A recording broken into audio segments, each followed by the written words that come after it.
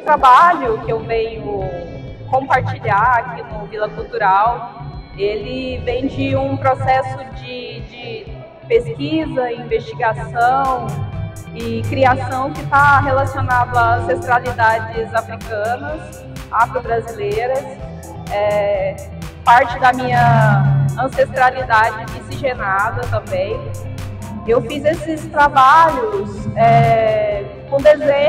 o, processo de criação dessas imagens passa por desenho comum, né? muitas vezes eu faço desenho à mão, é, fotografo, digitalizo e finalizo é, com softwares para edição de imagens.